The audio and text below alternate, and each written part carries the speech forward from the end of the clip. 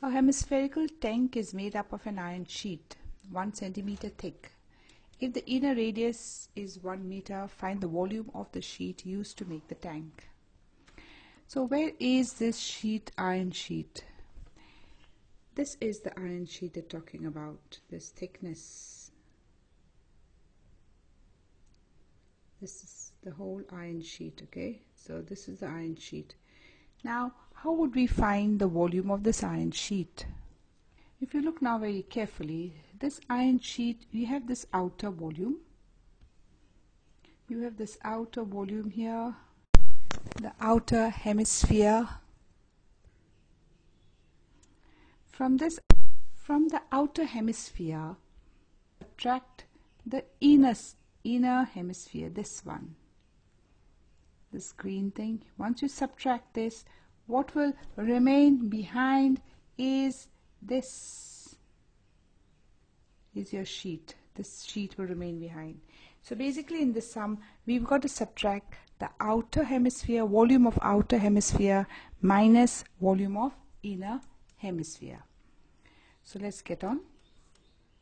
So we'll write two things. We'll write the outer hemisphere. We'll see what is the what are the dimensions of the outer hemisphere. And now we'll see the dimensions of the inner hemisphere.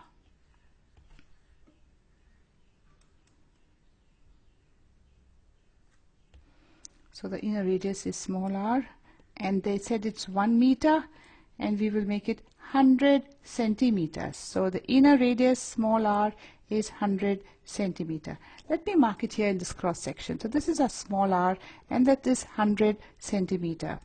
Now they said the thickness is, this is the thickness and the thickness they said is 1 meter, 1 centimeter. So our outer r, this outer r will be the inner r plus the thickness. So the outer r that is a capital R will be the inner r which is 100 plus the thickness which is 1. So the outer R will be 100 plus 1 and that is 101. So I just mark it again. It will be the inner R here plus this thickness, the outer R. That is 100 plus 1.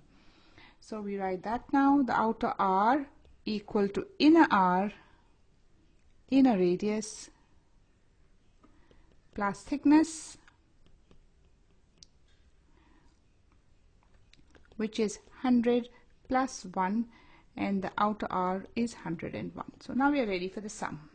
So we know the volume of volume of this uh, volume of this steel was outer volume minus the inner volume. So back again, outer uh, radius is 101, inner radius uh, is 100. And to find volume of steel, we need to do so to find the volume of steel we need to do volume of outer hemisphere minus volume of inner hemisphere. Just to do it again.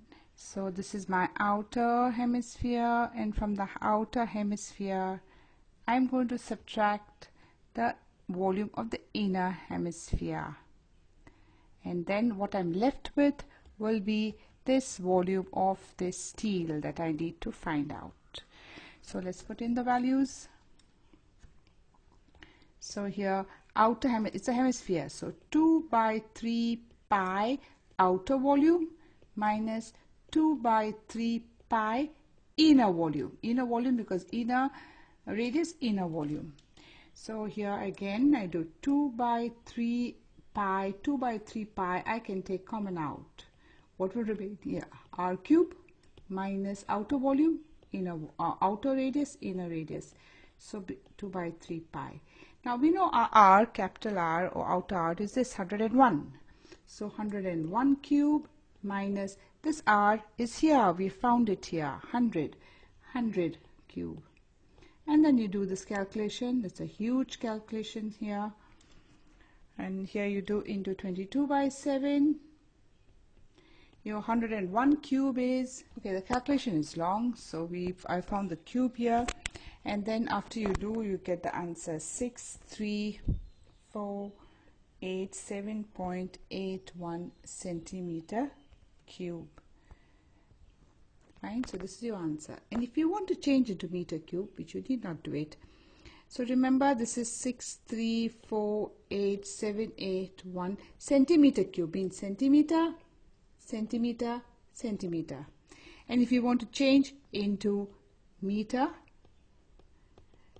to change this centimeter into meter, you will do here I'll put another color. So the centimeter 1 over